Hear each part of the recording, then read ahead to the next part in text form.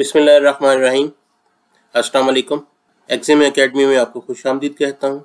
सी S S screening test के सिलसिले का लॉजिकल रीजनिंग का आज का दूसरा लेक्चर जिसमें हम कुछ मजीद प्रैक्टिस क्वेश्चंस करेंगे। थ्री स्टेटमेंट क्वेश्चंस जिनमें फ़र्स्ट टू स्टेटमेंट फैक्ट्स होंगी और थर्ड स्टेटमेंट के बारे में हमें बताना होगा कि वो ट्रू फॉल्स या अनसर्टन है। तो चलते हैं आज के पहले क्वेश्चन की तरफ़। Sales on Wednesday was higher than sales on Thursday तो हम यहाँ पे लिख सकते हैं sales on sales on Wednesday so Wednesday को हम कंपेयर कर रहे हैं थर्सडे की सेल्स के साथ. तो हम यहाँ पे लिख सकते हैं वेंसडे की सेल्स थर्सडे से हायर है मींस ग्रेटर है, ज़्यादा है. सेकेंड है जी sales on Tuesday was higher than the sales on Wednesday जो ट्यूसडे की सेल्स हैं, वो वेंसडे की सेल्स से ज़्यादा है. It mean T is greater than when W sales on Tuesday is greater than sales on Wednesday अब यहाँ पे ये दोनों साइंस ऑलरेडी सेम है, जबकि हमारे पास, जबकि हमारे पास यहाँ पे हमने ट्यूसडे और थर्सडे की बात हो रही है तो हम यहाँ पे ये थर्सडे था तो इसको हम यहाँ पे टी एच कह देते हैं, और यहाँ पे सेल्स ऑन ट्यूसडे था, इसको हम इंस्टेड ऑफ़ टी हम यहाँ पे टी यू लिख लेते हैं, क्योंकि सेम वेरिएबल था टी तो अब यहाँ पे ये डिफरेंट डेज़ की सेल्स थी थर्सडे एंड ट्यूसडे सो हम इनको डबल लेटर से रिप्रेजेंट कर देते हैं। तब हमारे पास यहाँ पे ये जो कॉमन लेटर है डब्ल्यू वेंसडे ये दोनों में अपोजिट साइड पे है। So it mean it is a certain situation तो अनसर्टनिटी नहीं होगी इसमें। अनसर्टन को हम क्रॉस कर देते हैं और इनको कंबाइन करके लिख सकते हैं हम यहाँ पे। पहले हम सेकंड स्टेटमेंट को लिखें। Tuesday is greater than Wednesday and Wednesday is greater than Thursday sales तो ये हमारे पास इसका इंफॉर्मेशन आ गई। फैक्ट बन गया हमारे पास, एक इंफॉर्मेशन बन गई।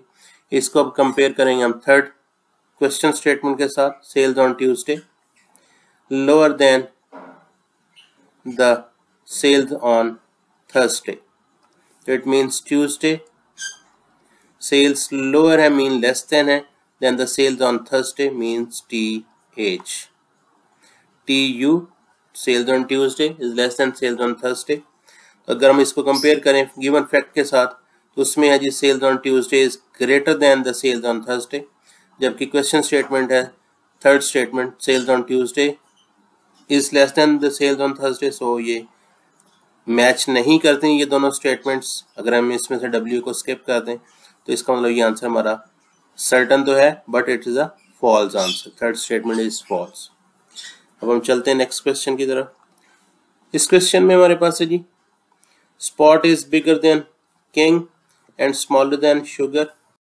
तो यहाँ पे हम इसको spot is bigger than king तो है, हम स्पॉट के लिए एस पी यूज़ कर लेते हैं। S P is bigger than king and smaller than sugar तो स्पॉट जो है शुगर से स्मॉलर तो हम इसको एस यू से डिनोट कर लेते हैं। ये हमारे पास रिलेशन बन जाएगा।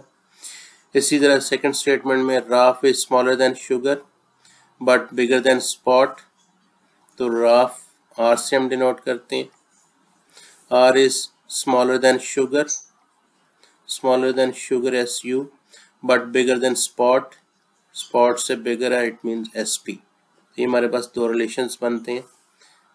अब हम इनको, ये सेम साइन बनाने के लिए, इनमें से एक स्टेटमेंट को रीराइट कर लेते हैं। सो फ़र्स्ट स्टेटमेंट को हम रीराइट करते हैं। तो ये बन जाएगा K is smaller than S smaller than SP and SP is smaller than SCU second को एज इट इज़ लिख लेते हैं जनाब यहाँ पे। S P is less than R and R is less than S U अब हम यहाँ पे देख सकते हैं हमारे पास। ये एस पी जो है, ये स्मॉलर देन एस यू और यहाँ पे ये S P smaller than S U but दरमियान में हमारे पास आर आ गया। इसका मतलब हम इनको कंबाइन करके लिख सकते हैं। सबसे पहले हमारे पास के के के बाद हमारे पास S P K is less than S P spot और ये हमारे पास S P S P is less than R rough और R is less than S U sugar तो ये हमारे पास इसका ऑर्डर बन गया इंफॉर्मेशन आ गई, इनका अरेंजमेंट आ गया। अब इसमें हमने देखना हमारी थर्ड स्टेटमेंट या क्वेश्चन स्टेटमेंट क्या है? King is bigger than rough it means K is greater than R जो कि ये हमारे पास ये किंग और ये राफ। किंग जो है, राफ से स्मॉलर है, जबकि यहाँ पे क्वेश्चन स्टेटमेंट में ये इसके अपोजिट है। ये दोनों इन्फॉर्मेशन और क्वेश्चन स्टेटमेंट मैच नहीं करती हैं। सर्टन सिचुएशन थी but not matching so answer is false so coming to next question इस क्वेश्चन में हमारे पास a basket contains more orange than lemon इसका मतलब हमारे पास बास्केट में लेमन से ऑरेंज ज़्यादा है so O is greater than L second है जी there are more lemons in the basket than the orange than the mangoes it means जो लेमन्स की तादाद है, वो मैंगोज से ज़्यादा है। सो हम यहाँ पे इसको ये लिख सकते हैं इस तरह से। Orange are great more than lemons ये first statement and lemons are more than mangoes ये सेकंड हमारी स्टेटमेंट अब हमारे पास ये नॉन इन्फॉर्मेशन आ गई हमारे पास। अब थर्ड क्वेश्चन स्टेटमेंट को देखते हैं। Basket contain more mangoes than orange more mangoes than orange M is greater than O जबकि यहाँ पे जो नॉन इन्फॉर्मेशन जो फैक्ट है, वो M is less than O है। So it is a false statement क्योंकि हम इन दोनों को कंबाइन करके लिख सकते थे तो अनसर्टन नहीं थी सर्टन सिचुएशन थी। और सर्टन में भी ये हमारे पास चूँकि दोनों स्टेटमेंट मैच नहीं करती so third statement is a false statement next question की तरफ़ चलते हैं।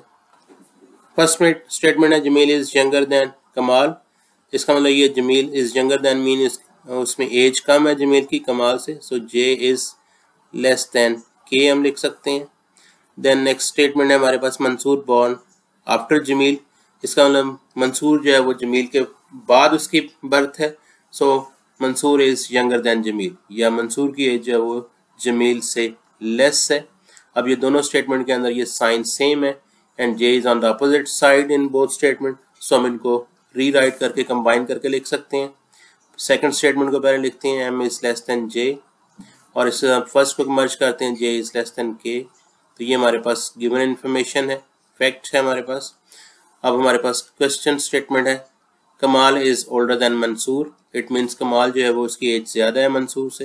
K is greater then M तो यहाँ से भी हम देख सकते हैं के जो है वो ओल्डर साइड पे है ग्रेटर साइड पे है देन एम सो हम कह सकते हैं K is older than Jameel and Jameel is older than Mansoor so Kamal is older then Mansoor तो ये इज़ अ ट्रू स्टेटमेंट हमारे पास इसका आंसर ट्रू आ जाएगा।